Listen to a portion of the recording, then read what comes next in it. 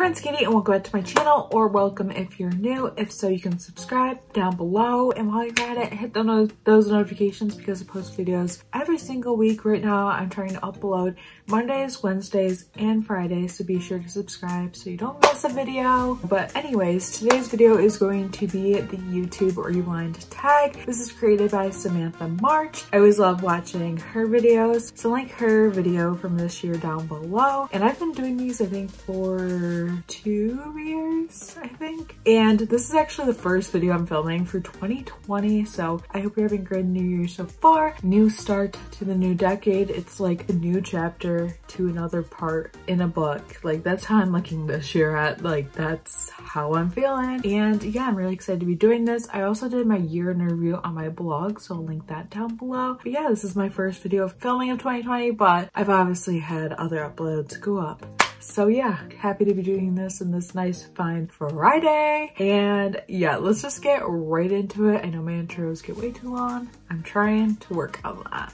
Okay, so I have the questions literally on my laptop right below. So if I look down, that is why. So there's about nine questions, by the way. So yeah, let's go on to number one. What was just, what was the first video you posted in 2019? My first video in 2019, I remember this always because this is always what I like to post on the first of the year. And that is my best of beauty 2019. I always love posting on the first of the year, especially posting my best of beauty I feel like it's perfect time to share all my favorites and everything. And that's just my beauty favorites and stuff. So yeah, it was what I posted on the first of the year. Super fun. Great start off the year with a bunch of favorites, talking about my loves for the year. And it's always my favorite thing to do. Like I said, it's just, I don't know, I love sharing beauty favorites. It's just like the best thing ever. I don't know. It just is. Like, it's amazing just talk about your favorites, reminisce, you know, feel that vibe. I don't know. So number two says, do you have a favorite video you posted in 2019? Honestly, like, I love a lot of my videos and I know I always say that, but I honestly do. But I think if I had to pick like top favorite, of course, any Get the Looks I did this year, I really like. I actually really like the outfits video that I did a couple months ago. I know a lot of people said they loved that video. I really like doing those. Those are definitely videos I will continue to do throughout this year and everything. Every once in a while, I'll do like an outfit of the week. I also really liked my Embrace Your Beautiful series, which I created last year, and I'm bringing it back this year. I haven't filmed for it in a while, but I really want to bring it back and I have a lot more ideas for it, but kind of just started doing new things this year, like, and kind of branching out. I really like my ranking series that I did that was inspired by Kelly Gooch. I just really like doing those kinds of videos. Yeah, there's never like one video I can pinpoint, but those are like just to name a few, some of my favorites. Number three, do you have a video that made you go outside your comfort zone?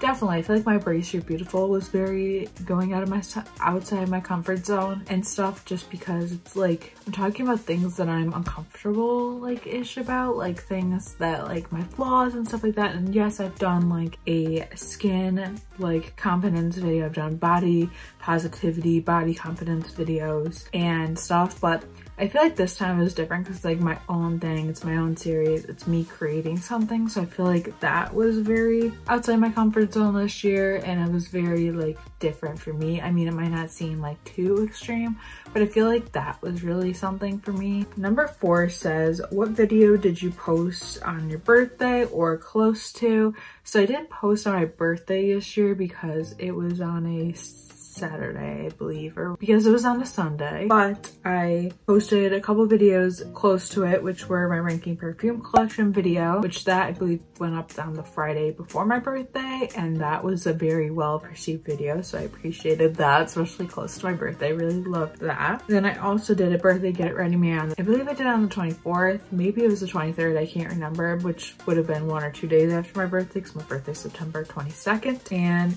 yeah, those are the videos closest to my birthday birthday, but I always love posting on my birthday, but this year it didn't happen just with my upload schedule and the days where I would upload. You know? Number five says, did you find a new channel or creator in 2019 that you love? I actually found a lot of different creators, which is really awesome. I found a lot of different, like even Instagram accounts that I found them, found their videos through, which is awesome. I always love finding new people. I'm always looking for new people to watch. I found Fathering Autism this year, which is like not beauty related, but I watch like all kinds of content I make and stuff. I really like their channel. It's basically about a family who has a daughter with autism and they kind of like, you know, they're really good at educating people on it. And I feel like I was very educated with them because the daughter is nonverbal. You should definitely check out the channel. I will leave everyone I'm I'm mentioning and just things I'm mentioning down below. I also discovered Sydney, which I mentioned her in one of my last videos and stuff. I really like her channel. She's so inspirational when it comes to like makeup. Like she just these awesome looks and I'm just like, I love like that. Like that inspires me to do so much with my makeup, even though I did the most basic look today, but it's okay. We're panning.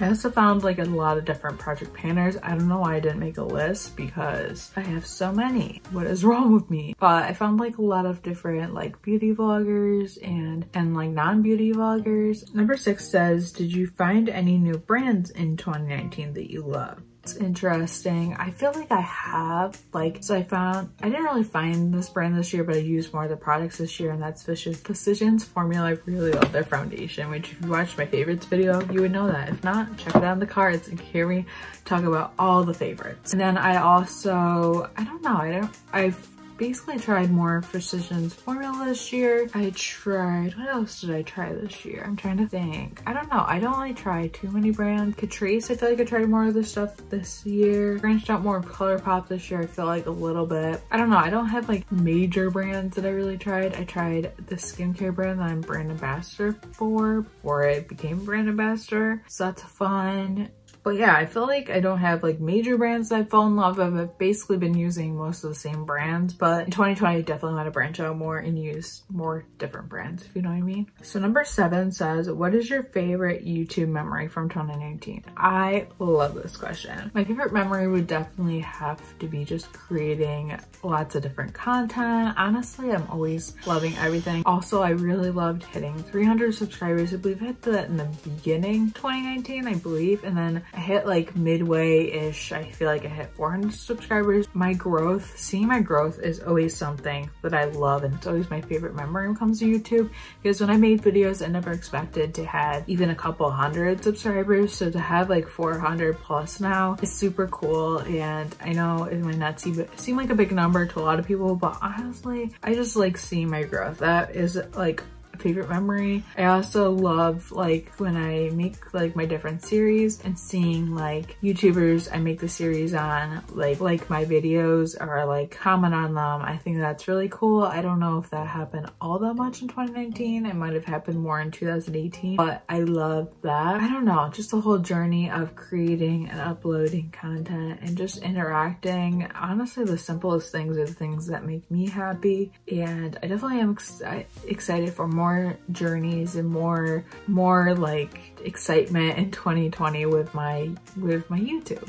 I'm really excited for that. So number eight says, how many videos did you post in 2019? This is always fun counting this up because I'm just like, oh my God. But I posted 124 videos this year, which I don't know from comparison from last year to this year, if that is more or less, but I feel like that's pretty good for a full-time student, a girl that had part-time work over the summer and just a busy a somewhat busy overall girl. I feel like that's pretty good. And then I post 30-ish vlogs, which, you know, I don't vlog all the time, so I feel like that's pretty good again for a full-time student. Hopefully in 2020 I can post more because I won't be a full-time student in the fall semester, so that's exciting. Maybe I can post more. I mean, I'll have like a full-time job probably, and but YouTube will always be there for me, and I can't wait to see how much content and like what I create this year. So number nine says, what made you proud of, of what you consider an accomplishment. I feel like I'm always proud of what I do, especially with the content I put out. I'm always like careful about what I put out online. Like I always want to put out content I'm proud of.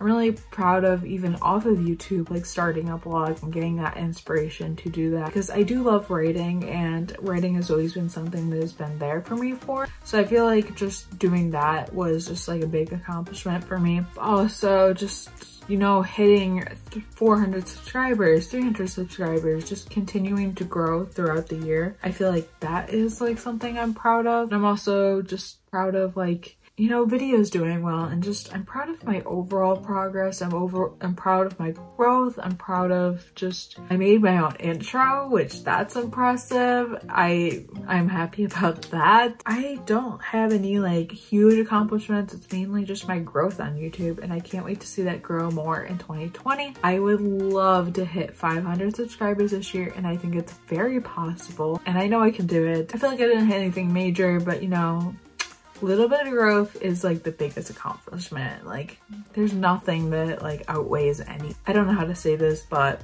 there is no growth that is too small. Any growth is good growth. So I'm proud of everything I do. I'm proud of the content I create. I'm proud of just even doing my 12 days of Christmas. This is second year, second year doing of it. And yes, it was a lot of work, but it was so worth it. It was so much fun for me. And even if one video didn't do like super well, I still loved doing it because I was creating stuff for the 12 days that I really wanted to create. And I'm definitely excited for more adventures like that in 2020, this year. Wow, I keep saying 2020, but that is this year. We're literally in 2020, Katie. But yeah, that's it for the questions and everything. I hope you enjoyed this YouTube rewind tag. If you're a YouTuber, you should definitely do this. I would love to see it. But anyways, I hope you enjoyed it. Please give this video a thumbs up if you did. And let me know what you want to see next from me this year down below. I would love to hear about that. And subscribe if you haven't already. Also the notification bell while you're down there so you don't miss an upload. Can't have that. and yeah, thank you so much for watching and I will see you on Monday for a brand new video. Super excited to continue my New Year's, you know, uploads from favorites to onward, you know, that, that, that stuff. Bye.